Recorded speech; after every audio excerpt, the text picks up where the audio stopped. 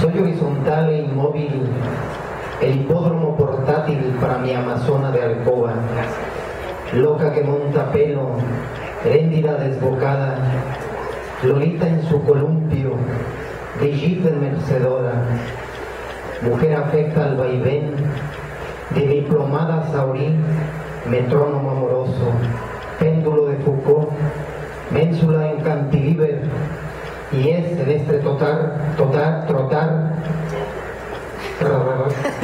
cuando comprendo la grande nobleza de aquel equino del tío vivo.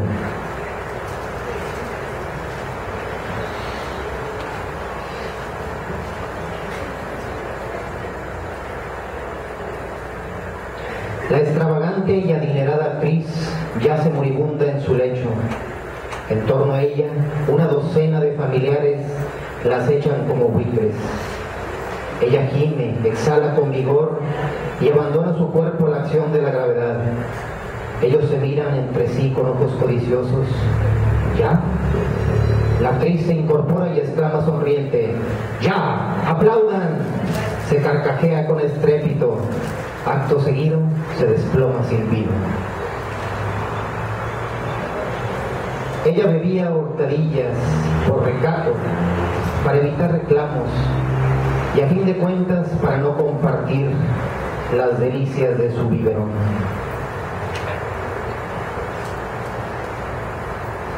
Estaba la frondosa negra que chupaba un paletón de leche y su amante, un güerito muy mamado.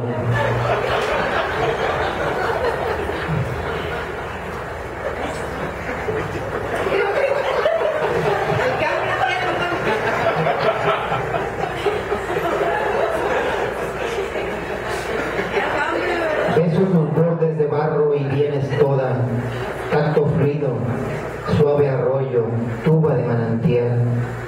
Ya dentro hay un faro en alta mar, ojo de agua, piedra de noria, humedad de brocal. En mi jarro de café saboreo tus sombras y los humores donde ya no estás. Garzón Circulpré se llama esta.